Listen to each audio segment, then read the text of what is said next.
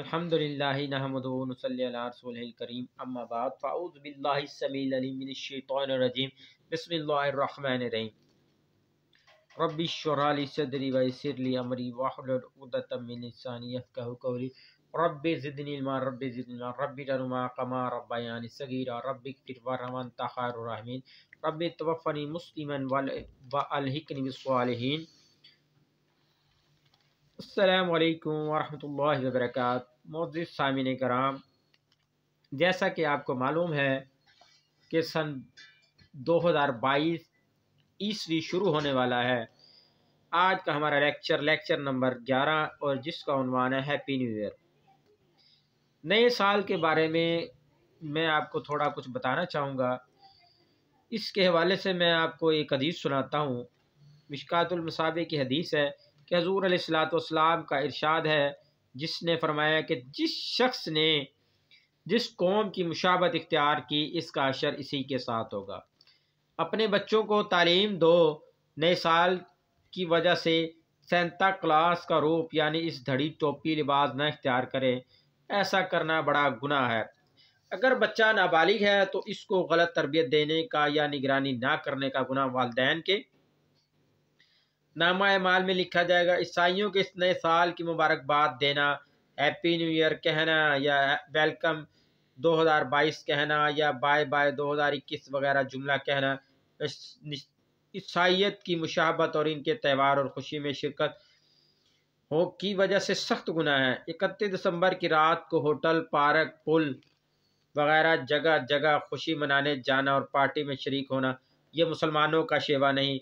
इन लोगों को या आतिशबाजी को देखने जाना जायज़ नहीं।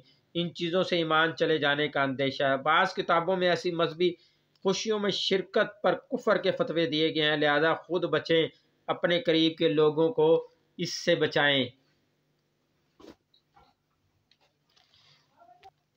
ये मैं नहीं कहता, बल्कि कुरान करीम कहता है। पारा नंबर सोलह, सूरह मरियम, सूरह नंबर, आयत नंबर तीस। आउज़बिल्लिमिनशैतानिरजीम क़ाल इन्नी अब्दुल्लातानियलकिताब वाजअलनी नबिया हज़रत ईसा फरमाते हैं कि मैं अल्लाह का बंदा और अल्लाह ने मुझे किताब अता फरमाई और मुझे अपना नबी बनाया दूसरी जगह सूरह इखलास में पारा नंबर तीस सूरह नंबर एक सौ बारह अल्लाह ताला ने फरमाया किसको फरमाया कहो कहो हुक्मन अल्लाह के नबी सलाम को कहा गया कहो कि अल्लाह एक है, अल्लाह बेनियाज है, ना इसकी कोई औलाद है, ना वो किसी की औलाद है, इसका कोई हमसर नहीं। वो हर चीज़ में तन तनहा है। इन आयतों से साफ़ मालूम होता है कि ईसा इस्लाम अल्लाह के बेटे नहीं हैं। वो अल्लाह रबुल्ज़त के नबियों में से एक नबी हैं। हमारे भाइयों और बहनों से गुजारिश ये है कि वो हैप्पी न्यू ईयर कहने से परहेज़ करें। ये लोग ईसाई सच्चे हैं कि वो खुला कलमा कुफर अदा करते हैं। अपने आप को भी बचाओ और अपने दोस्तों को भी बचाओ। हैप्पी न्यू ईयर और आज का मुसलमान। अल्लाह के नबी जैसा कि मैंने आपको पहले ये हदीस सुनाई थी कि अल्लाह के नबी सलाम ने फरमाया कि जिस कौम की मुशाबत अपनाएगा, इसका हिसाब इसका हिसाब इसी के साथ होगा। हशर में वो इसी सफ़ में होगा। ईसाइत का अकीदा है कि वो हैप्पी न्यू ईयर कहकर सेलिब्रेट करते हैं और दूसरों को विश करते हैं, जो कि शिरक और कुफर है। अब तो मुसलमान भी नए साल को मनाने लग गए हैं। दरिकत ये कुफर और शिरक का दिन है। एक दूसरे को हैप्पी न्यू ईयर कहना, विश करना, इस त्यौहार में घरों को सजाना, खुशियाँ मनाना हराम है। जिसका इस्लाम से कोई लेना देना नहीं, एक मुसलमान के लिए जेब नहीं देता कि वो ऐसी चीज़ों में ख़ुद को हिस्सेदार बनाए। लेकिन आज इस जाहिल गलीज़ मॉडर्न दौर में मुसलमानों ने अल्लाह के कलाम और नबी सलाम के तमाम फरामीन को पीछे छोड़कर इसमें हिस्सा लेना शुरू कर दिया और नाम दिया जा रहा है, ज़माने के साथ चलो। एक मुसलमान को ख़ुद ये बात सोचनी चाहिए कि आखिर ज़माने के साथ चलने का हमेशा मतलब इस्लाम की मुखालफत ही क्यों लिया जाता है? और हम इसे क्यों इतनी जल्दी अमल में ले आते हैं? क्या खुशियाँ मनाने के लिए हमारी दैन कम है?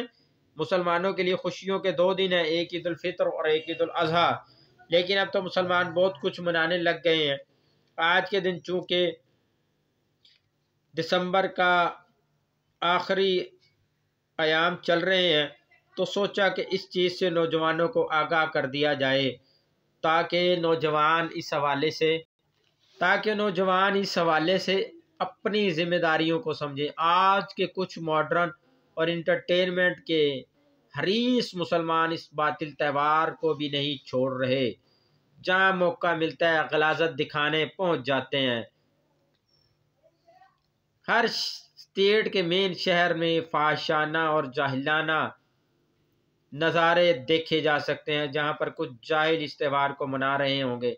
वहाँ कुछ मुसलमान लड़के, लड़कियाँ और कुछ बेपर्दा और बेहिजाब, हमारी माएँ, बहनें, बेटियाँ भी अपने बच्चों और बच्चियों के साथ इंजॉय कर रहे होते हैं और ये भी भूल जाते हैं कि कल आखरत में हमारी गिनती इन्हीं जाहिलों और बातिल अकीदा वाले लोगों के साथ होगी।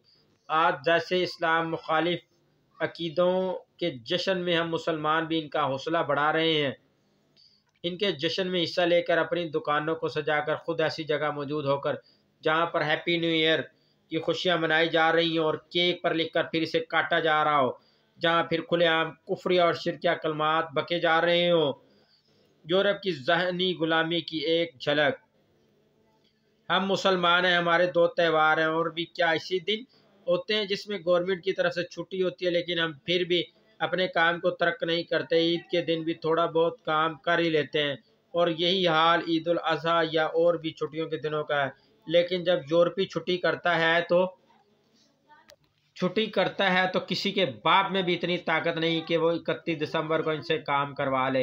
या अपना मुल्क फिरवा ले, या ईमेल का जवाब करवा ले, या कोई मीटिंग रख ले, लेकिन हमें कहा जाए, ईद के दिन मीटिंग रखने को, ईमेल करने को, या कुछ और काम तो हम फ़ौरन कर देते हैं। क्या यूरोप की ये जहनी ग़ुलामी नहीं है? इसी के बारे में शायर ने क्या खूब कहा था, वज़े में हो तुम नसारा तो तमदन में हनूद, ये मुस्लिम है जिन्हें देख के शर्माए यहूद।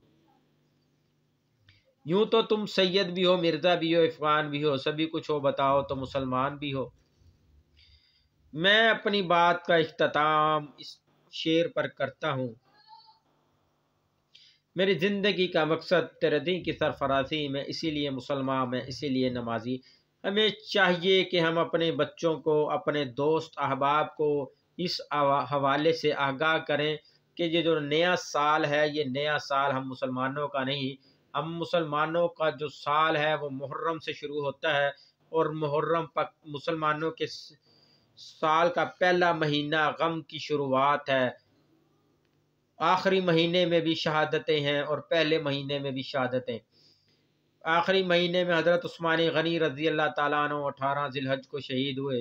हज़रत उम्र फ़ारूक रज़ी अल्लाह तु के कुछ तारीख़ की किताबों में आता है, छब्बीस जिलहज को कुछ में आता है यकम मुहर्रम हराम को शहीद हुए। और इसी में अहल बैत सलाम शहीद किए गए। मुसलमान को जब भी कोई खुशी मिलती है तो वो अल्लाह के आगे सजदा रेज हो जाता है। जब कोई दुख मिलता है तो अल्लाह के आगे सजदा रेज हो जाता है। मसाजिद आबाद की जाती हैं, खुशी में भी और गमी में भी। हमें चाहिए कि हम अपने खुशियाँ इस्लामी तरीके से मनाएँ। हम मुसलमान हैं, अल्हम्दुलिल्लाह। और हमारे अमाल भी मुसलमानों जैसे होने चाहिए। अगर कोई गलती, कोताही या कमी बेशी हुई तो वो मेरी कम इल्मी की वजह से, अगर कोई हक बात आप लोगों तक पहुंचाई गई तो वो अल्लाह ताला की तौफीक से। वमा अलैना इल्लल सुबहानक अल्लाहुम्मा व बिहम्दिका नशहदु ला इलाहा इल्ला अंता।